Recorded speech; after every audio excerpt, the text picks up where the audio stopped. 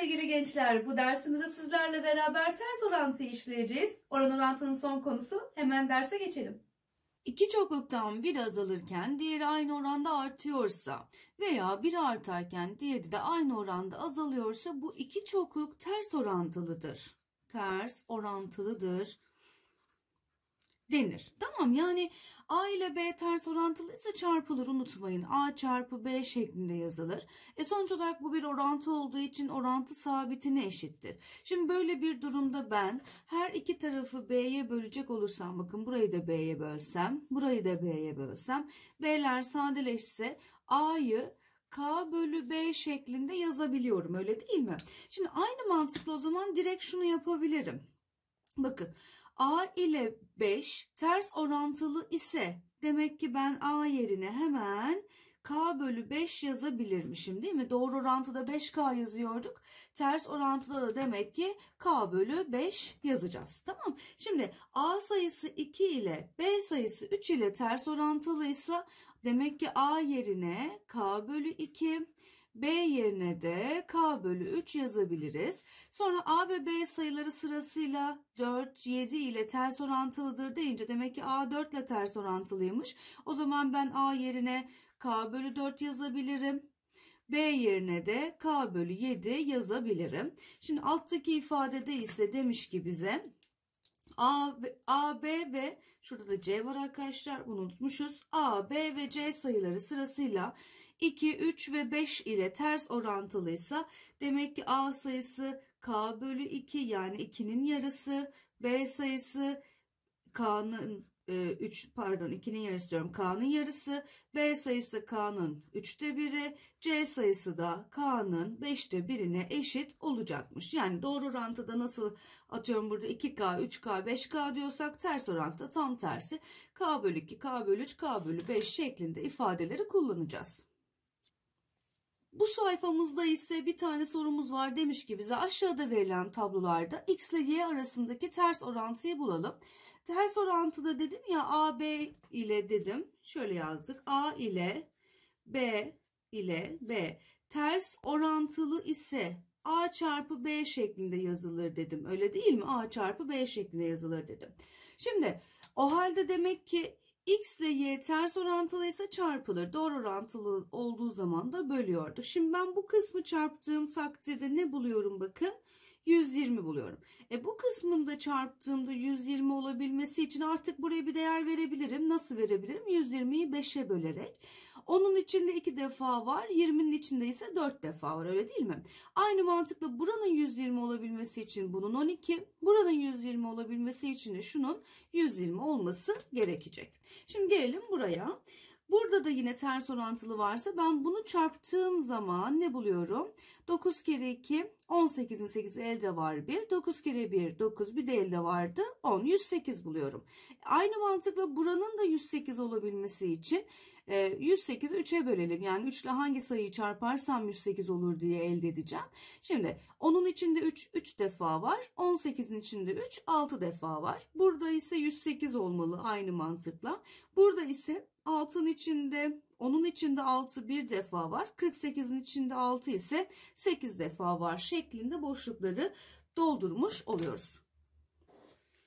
Bu sayfamızdaki soruları inceleyecek olursak diyor ki A ile B ters orantılıdır. Ne yaparız dedik? Çarparız dedik. O zaman çarpalım. Yani A çarpı B şeklinde yazabiliriz.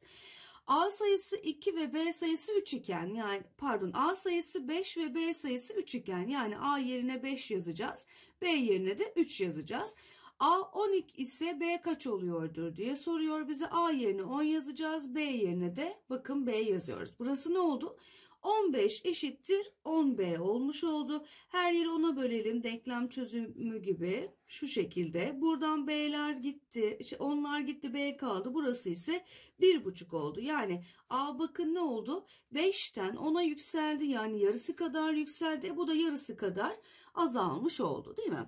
Şimdi diğer sayfa sorumuza bakarsak şayet bu kez de 2a ile b eksi 1 sayısı ters orantılı. Yani yapmam gereken şey 2a ile b eksi 1'i çarpmak olacak. Diyor ki bize a 4 iken b 5 ise A 8 iken B kaçtır diyor. Şimdi A yerine 4 yazalım. Yalnız buraya 4 yazdığım zaman 4 kere 2'den 8 olur. Çarpı. B yerine buraya 5 yazarsam 5 eksi 1'den 4 olur. Aynı mantıkla A yerine 8 yazarsam burası 16 olur. Tabi B olmadığı için buraya yine B eksi 1 yazacağız. Buradan yapmam gereken şey tabii ki denklem çözümü olacak. Şurayı çarpalım. Burası 32 oldu. Eşittir. B'yi içeri dağıtabilirim ya da B'yi içeri dağıtmadan daha kolay işlem yapabilir, yapmak istersem her yeri başta 16'ya bölebilirim. Burayı da 16'ya, burayı da 16'ya bölebilirim. Şöyle gider. B eksi 1 direkt 2 olarak çıkar. Eksi 1 yanına alırsam 2'nin B'yi de 3 olarak hesaplamış oluruz. Bu sayfamızda da iki tane problemimiz var. Şimdi bu problemleri inceleyecek olursak. Birincisi demiş ki bize aynı kapasitedeki 4 traktör bir tarlayı 20 günde sürebiliyor. Buna göre 10 traktör aynı tarlayı kaç günde sürer dedik. Hemen yapalım. Şimdi 4 traktör kaç günde sürüyormuş? 20 günde sürüyormuş. 20 gün dedik. Tamam. Peki 10 traktör kaç günde sürer dediğimizde bu tarz bir problemde eğer doğru orantı olsaydı bunlar içler dışlar çarpımı yapacaktık bu şekilde. Ama ters orantı olduğunda ise karşılıklı çarpım yapıyoruz. Yani e, burası sonuç olarak mantık olarak düşünecek olursak 4 tane traktör 20 günde sü sürebiliyormuş. E şimdi traktör sayısı artarsa daha çabuk işimiz bitecektir. Daha kısa sürecek. E ne oldu? Burası artarken burası azalacak. Yani karar verdik. Bu ters orantılıdır. Karşılıklı çarpılacak. 10x eşittir. Bunu da bunu çarparsak 80 oldu. X de buradan 8 şeklinde bulundu. Demek ki 8 günde sürebilirmiş. Buradaki ifade ise ne demiş? Aynı miktarda yem yiyen 10 tavuğa 60 gün yetecek yem 30 tavuğa kaç gün yeter diyor. Hadi bakalım şimdi 10 tavuğa 60 gün yetecek yem 30 tavuğa kaç gün yeter dedik. E şimdi buradan yola çıkarsak mantıken tavuk sayısı artacağı için daha çok günlük yem bitecektir. O zaman yemler daha kısa dayanır diyeceğiz. E artacak azalacak. Ters orantı var. Şu şekilde çarp karşılıklı çarpacağız. Burada ters orantı var dedik. O halde 30x eşittir 10 çarpı 60 olur. Yani buradan 30x eşittir 600 bulunur. Sıfırları götürebiliriz. Her yeri 3'e bölersek de x'i 20 buluruz. Demek ki 20 gün yetebilirmiş. Bu sayfamızda da bir traktör sorusu var. Bakın traktör sayısı sorusunda şöyle ya da traktörü çark gibi de düşünebilirsiniz. Çarkta da aynı mantık. Çarklarımız ve traktörlerimizin tekerlekleri ne kadar büyük olursa bu da işte küçük olsun. Bunlar da birbirlerine kenetli olsun. Traktörde de nasıl? İşte şu şekilde duruyor ve yine birbirlerine aslında bağlı. Şimdi bu kaç tur atarsa küçük ya sürekli dönecektir. Bu daha yavaş dönecektir. Yani daha büyük, daha yavaş, daha küçük, daha fazla dönecektir. Yani değil mi? Da büyük olan az dönecek, küçük olan çok dönecek ve bir zıtlık var. Yani bir ters orantı var. Traktör ve çark sorularında ters orantı olduğunu unutmayalım. Şimdi bir traktörün arka tekerleğinin çevresi 120 150 santimetre. Şimdi şuraya 150 santimetre yazdık. Ön tekerleğin çevresiyle 50 santimetre. Bu da ön tekerlekte buna 50 diyelim. Şimdi çevreleri alt alta yazdık. Diyor ki bana buna göre ön tekerlek 30 tur attığında yani bu ön tekerlek demiştik. 30 tur attığında arka tekerlek kaç tur atar? Buraya da x dedik. Şu şekilde gösterelim. Şimdi burada ne olacakmış? 50 ee, 50 santim olan çevresi 30 dönüyor. 150 olan daha az dönecekmiş değil mi traktörde? Ters orantı var o halde. Karşılıklı bir çarpım gerçekleştireceğiz. Diyoruz ki 150x eşittir 50 çarpı 30 diyoruz. Buradan 150x eşittir 1500 çıkıyor. Şöyle sıfırları da götürelim. Her yeri 15'e bölersek x'i 10 olarak buluyoruz. Demek ki o arka tekerlek 10 tur dönecekmiş diyebiliriz.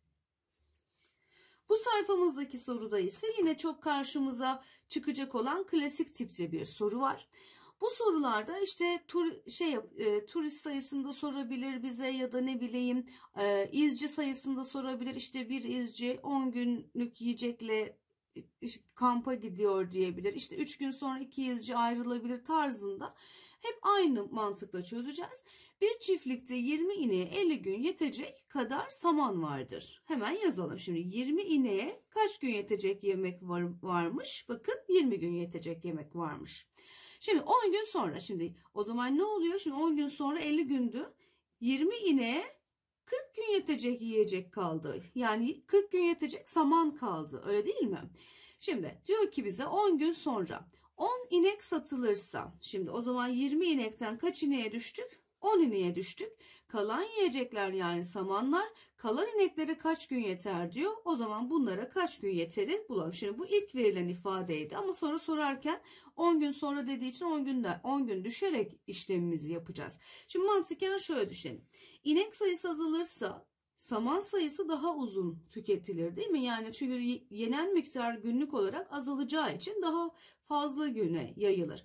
E böyle bir durumda o zaman burada ne var? Ters orantı var diyebiliriz. Ters orantıda nasıl yapıyorduk? Karşılıklı çarpıyorduk. O halde burası 10x eşittir 20 çarpı 40 olacak. Buradan 10x eşittir 800 olacak. Bölersek ona 80 diyeceğiz. Yani demek ki 80 gün yetermiş kalan samanlar kalan ineklere. Bu sayfamızda da yine iki tane sorumuz var. Şimdi bu sayfamızdaki sorularda bakın 4 ile x çarpılmış 5 ile y çarpılmış. Bu bize neyi söylüyor? 4 de, x demek ki 4 ile y demek ki 5 ile ters orantılı. Şimdi böyle bir durumda bakın şu şekilde eşittir k deyip x'e k bölü 4 y'ye k bölü 5 yapabilirsiniz ama daha kolayı var. Onun yerine çaprazlama değer verelim. Yani 5 burada ya buraya 5K diyelim ki çarpınca 20K olsun.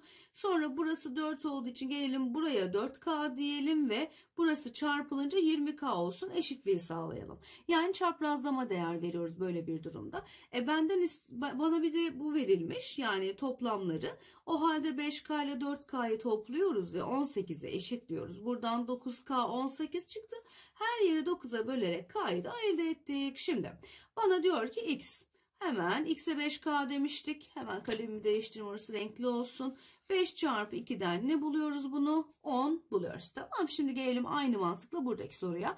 Diyor ki bize 2a eşittir 3b'ymiş değil mi? Şimdi ben buradaki a yerine 3K yazarsam B yerine de 2K yazarsam bunları alıp şurada yerine yazacağım.